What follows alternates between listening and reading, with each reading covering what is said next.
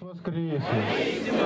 Еще раз поздравляю вас, дорогие мои отцы и братья, сестры, с этими утверждай, жизнеутверждающими словами главного нашего догмата веры православной, веры христианской, это воскресение Господа нашего Иисуса Христа. Апостол Павел говорит, пишет в своем послании, если бы не было воскресения Христова, то вера наша тщетна.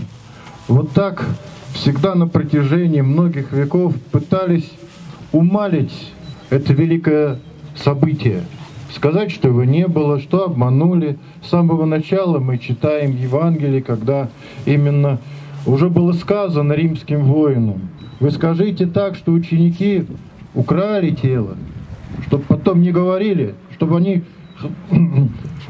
ибо они потом будут говорить, что он воскрес. И вот с этого момента и понеслась неправда о том, что произошло на самом деле. А мы с вами, если бы мы этого события не, не было бы, воскресения Христова, мы бы здесь с вами бы не стояли.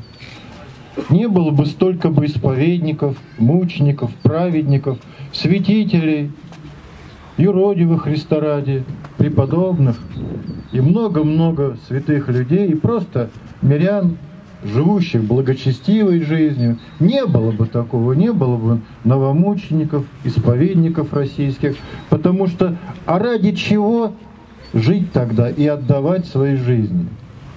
Ибо они понимали прекрасно, что именно существует жизнь вечная. Есть эта жизнь вечная, ради которой стоит даже отдавать самое дорогое в нашей земной жизни. Это, ну вот это наше с вами э, обетование здесь земное.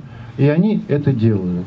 И мы, конечно, являемся их наследниками, учениками, последователями тех людей, ибо тоже понимаем и всем сердцем это ощущаем, что жизнь вечная есть, ибо Христос победил смерть. Христос воскресе! И сейчас, дорогие мои, замечательные дни, когда мы можем вот нести свою миссию, проповедь о воскресшем Христе, всего лишь нужно говорить два слова «Христос воскресе». Всем, кого мы знаем, близким, знакомым, просто людям на улице говорить «Христос воскресе». И обычно а такой ответ, и какой мы знаем, да? Обычно люди малоцерковные отвечают «воистину воскресе».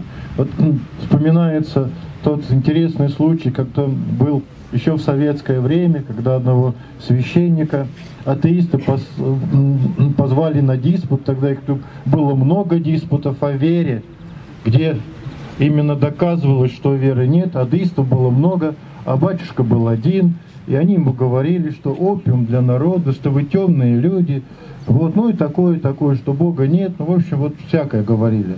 Батюшка долго сидел, слушал, слушал все эти доводы, а потом встал и всему залу огромному сказал, Христос воскресе, и весь зал ответил, воистину воскресе. Вот. Ибо поистине душа человеческая, она христианка внутри. И как бы старались бы не умолить достоинство Бога и говорить, что он и что его нет, она чувствует, что он есть. Вот. Это, и это чувство невозможно от, никак отнять у человека.